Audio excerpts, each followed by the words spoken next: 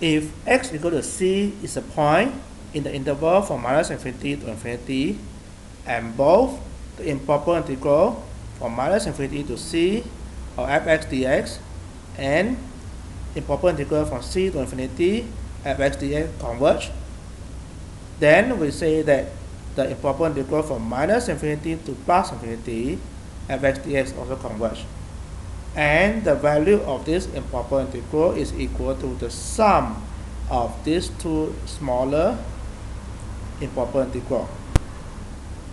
Now, if any of the improper integral, say minus infinity to c of x dx, or integration from c to infinity of x dx, diverge, if any one of them diverge, then this improper integral from minus infinity to infinity will diverge. Let's look at an example. Example 4. We are going to evaluate from minus infinity to infinity of 1 over 1 plus x squared. Now in this case, we take a point C equal to 0. So we break this integral into two, two pieces. First piece is from minus infinity to 0. So in this case, just like the usual integral now, usual improper integral now, what we do is replace the minus infinity by L. And then you integrate the function 1 over 1 by x squared. Afterward, you let L go to minus infinity. Now integration of 1 over 1 by x squared, we know that it's tangent inverse x. You can check this from the formula book. And you take the limit from L to 0 so put x equal 0 and x equal L and we know that tangent inverse L is 0 so therefore this is minus tangent inverse L.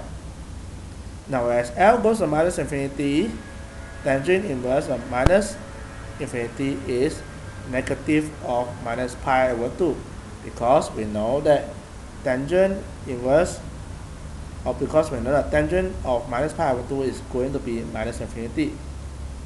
So in the end, the answer for this first improper integral is pi over 2. The first part of this improper integral from minus infinity right, of dx 1 over x squared, 1 over x squared, in this case pi over 2.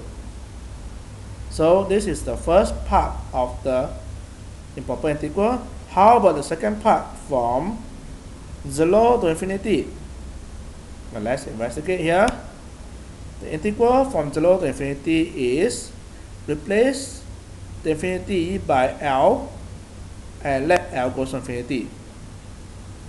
So when you integrate 1 over 1 by x squared, as usual, you get tangent inverse x, and then you put in the limit from 0 to L.